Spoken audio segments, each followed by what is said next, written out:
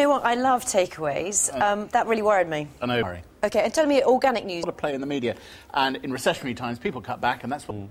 yeah, slaughtered. To... Mm-hmm. Okay, the other news this week: rapeseed oil against olive oil. Now, if you go to the countryside at this time of the year, is turned. very, very good Okay, I, understand that we are very honoured because uh, you often bring food into the studio, but you don't cook it yourself, and today you have. But if you can't get someone else to do it properly, I'm going to pass you a potato And these salad. are Jersey Royals, is they that right? They are. Now, my mm. seasonal, April, you're, you're not even going to eat it, Well, no, I would... Um, um, and these are quite precious. Nice.